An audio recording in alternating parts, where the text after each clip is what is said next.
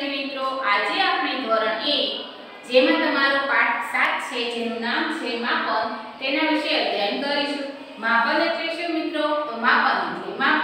આપણે ઘણી વસ્તુની માપ જોઈને માપી લઈએ છીએ ને કે આ લાંબી છે, આ ટૂંકી છે, આ પહોળી છે, આ પાતળી છે. એવી જ રીતે આ એક માપવાનું, એક પાઠનું નામ જ છે માપન.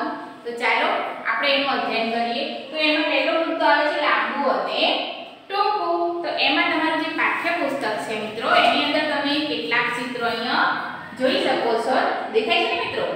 તો હવે તમે જુઓ કે એમાં તમને બે ચિત્રો આપેલા છે. આ જે છે બે પેન્સિલનું ચિત્ર છે. એમાં તમે જોઈ શકો છો કે એક પેન્સિલ છે, એનું કદ મોટો છે અને એની સરખામણીમાં જે એની બાજુમાં આપેલી એક પેન્સિલ છે, એનું કદ નાનું છે. તો હવે તમારે શું કરવાનું છે? તો જે મોટી પેન્સિલ છે, એની નીચે શું લખવાનું? લાંબુ. અને જે તમારે નીચે આપેલું છે, આ જે ટૂંકી પેન્સિલ છે, એને નીચે લખવાનું ટૂંકું એમ તમારે જે દરેક ચિત્ર આપેલા છે, એના નીચે જે લાંબી વસ્તુ હોય, એની નીચે લખવાનું લાંબુ અને જે ટૂંકી વસ્તુ હોય, એની નીચે લખવાનું ટૂંકું. ત્યાર પછી આપણે વાત કરીએ મિત્રો, સૌથી લાંબુ અને સૌથી ટૂંકું. હવે જ્યારે આપણે કોઈ પણ બે વસ્તુઓની માપણી કરતા હોય ને મિત્રો, તો આપણે કહી દઈએ કે આ લાંબુ છે અને આ ટૂંકું છે. પણ જ્યારે આપણે એકથી વધારે વિશે વાત કરીએ, તો આપણે શું કહીએ કે આ સૌથી લાંબુ છે કે આ સૌથી ટૂંકો છે. હવે તમે અહીંયા જુઓ કે હું આ એક, બે અને ત્રણ ત્રણ લીટી દોરી છે. હવે તમે આમાં એમ કહી શકો કે આ લાંબી આ લાંબી અને આ ટૂંકી. તમારે શું કહેવું પડે? તો કે આ જે છે સૌથી લાંબુ છે અને આ જે છે સૌથી ટૂંકી છે.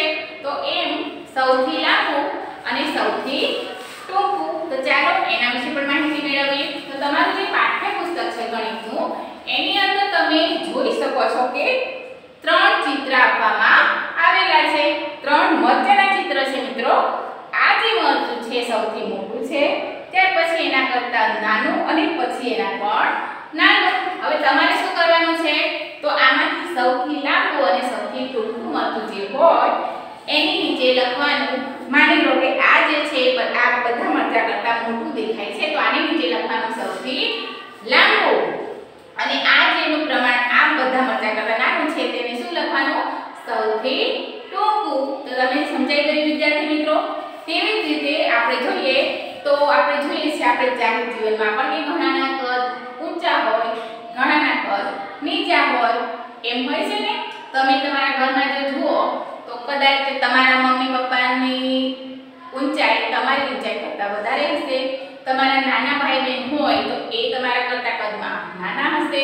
અને જો તમે તમારા મિત્રોની પણ વાત કરો, તો એમાં પણ ઘણા ઊંચા નીચા તમે જોતા હશો. તો હવે તમારા જે પાઠ્યપુસ્તક છે, એમાં જે ચિત્ર આપેલા છે, તે તમે ધ્યાનથી જુઓ મિત્રો, કે ઊંચું અને નીચું. તો અહીંયા બે ચિત્ર આપવામાં આવ્યા છે, જીરાફના.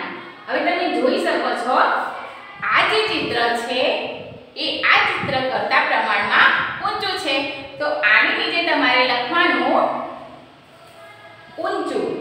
અને આ જે ચિત્ર છે, એની નીચે લખવાનું નીચું. એવી રીતે તમે ઊંચું અને નીચું જેની વધારે પ્રમાણમાં ઊંચાઈ હોય, એની નીચે લખવાનું ઊંચું. અને જે એના પ્રમાણમાં નાનું હોય, એની નીચે લખવાનું નીચું.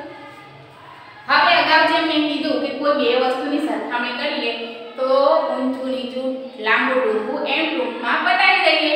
પણ જ્યારે બેથી વધારે આપણે જોવાનું હોય, તો સૌથી લાંબુ અને સૌથી ટૂંકું જોયું, એમ સૌથી ઊંચું અને સૌથી નીચું. હવે તમારા પાઠ્યપુસ્તકમાં તમે મિત્રો જોઈ શકો છો આ ચિત્ર આપેલા છે તો અમે જુઓ તમે. ત્રણ ઘર આપેલા છે. હવે તમારે કહેવાનું છે કે આમાંથી સૌથી ઊંચું કયું છે અને સૌથી નીચું કયું છે? તો હવે તમે સમજી ગયા છો, તો તમને ખબર પડે છે કે આના કરતા આનું પ્રમાણ વધારે છે આ ચિત્રનું. અને આ ચિત્ર કરતા પણ આ જે મકાન છે, એનું પ્રમાણ ઊંચું છે ઊંચાઈમાં. તો આના નીચે આવશે સૌથી ઊંચું અને જે સૌથી નાનું ચિત્ર છે, એની નીચે આવશે સૌથી નાનું. તો એ રીતે તમારે જે ચિત્ર આપેલા છે તમારા પાઠ્યપુસ્તકમાં એમાં જે સૌથી ઊંચું હોય, એની નીચે લખવાનું સૌથી ઊંચું, અને જે પ્રમાણમાં બધા કરતાં નાનું હોય, એની નીચે લખવાનું સૌથી નીચું. અગાઉ જે વાત કરી જાડું અને પાતળું આપણે જોઈએ છીએ. આ તમે એક જ ધોરણમાં ભણતા વિદ્યાર્થી હો તોય તમે જુઓ છો કે તમારો મિત્ર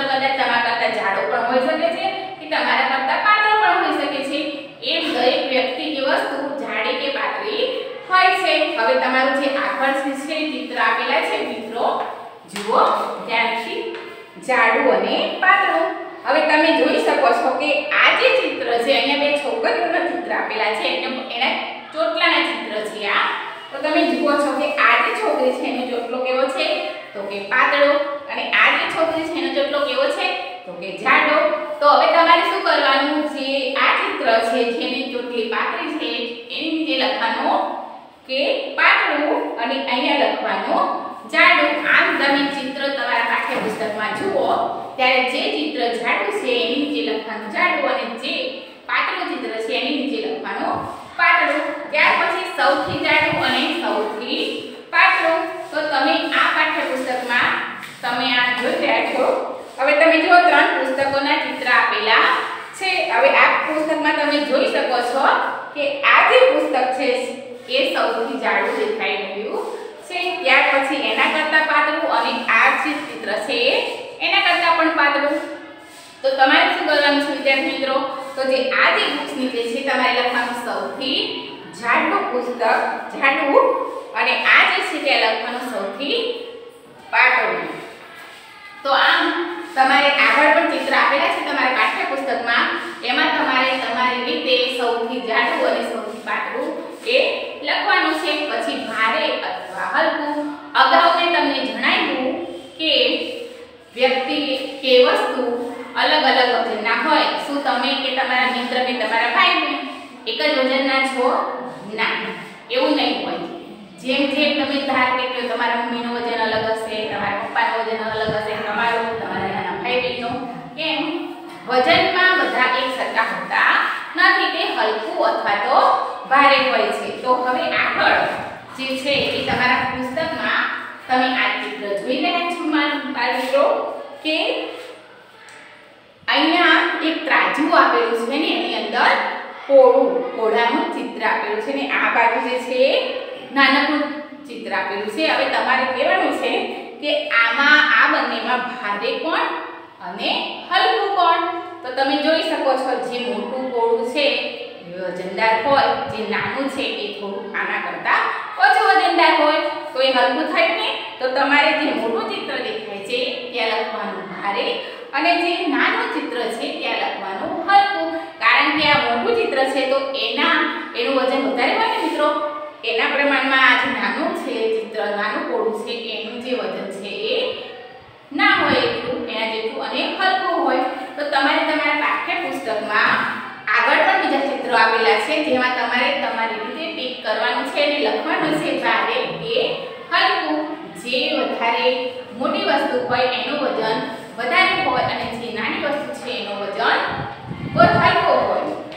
હવે સૌથી ભારે ને સૌથી હલકું, અગાઉ જે મેં કીધું કે બે વસ્તુમાં તો આપણે આ ભારે હલકું કહી દીધું, પણ જ્યારે એ વસ્તુઓ બે વધારે હોય, ત્યારે આપણે કહીએ કે આ સૌથી વધારે ભારે છે અથવા વધારે હલકું છે. તો હવે તમે તમારા પાઠ્યપુસ્તકમાં જોઈ શકો છો આ ચિત્ર. હવે તમે જુઓ કે તરબૂચનું ચિત્ર આપેલું છે. કેવું સરસ મજાનું તરબૂચ છે ને, વિદ્યાર્થી મિત્રો? તો હવે તમે જુઓ કે આમાં બધાથી મોટું તરબૂચ કયું છે? તો તમે કહેશો, આ, તો એની નીચે શું લખવાનું? એની નીચે લખવાનું સૌથી ભારે. એના કરતાં આ તરબૂચનું માપ મોટું છે. નાનું છે, પણ સોરી હવે આના કરતા પણ આનું પ્રમાણ જે છે એ નાનું છે, તો આને નીચે આવશે સૌથી નાનું તરબૂચ. હવે તમારા પાઠ્યપુસ્તકમાં બીજા પણ ચિત્રો આપેલા છે, એમાં તમારે તમારી જાતે સૌથી ભારે અને સૌથી હલકી વસ્તુઓ હોય એના નામ લખવાના છે. તો મિત્રો, અહીં આપણો જે પાઠ છે, પાઠ સાતમાં પણ એ પૂર્ણ થાય છે. અને તમારે હોમવર્કમાં તો આજે મેં તમને કીધું કે આગળ તમારા પાઠ્યપુસ્તકમાં જે ચિત્રો આપેલા પહેલા તો કહી દીધા છે બીજા જે છે એમાં તમારે જાતે તમારે રીતે લખવાનું છે કે ભારે અને હલકું ઊંચું અને નીચું, લાંબુ અને ટૂંકું. તો આ પાઠ અહીંયા પૂર્ણ થાય છે.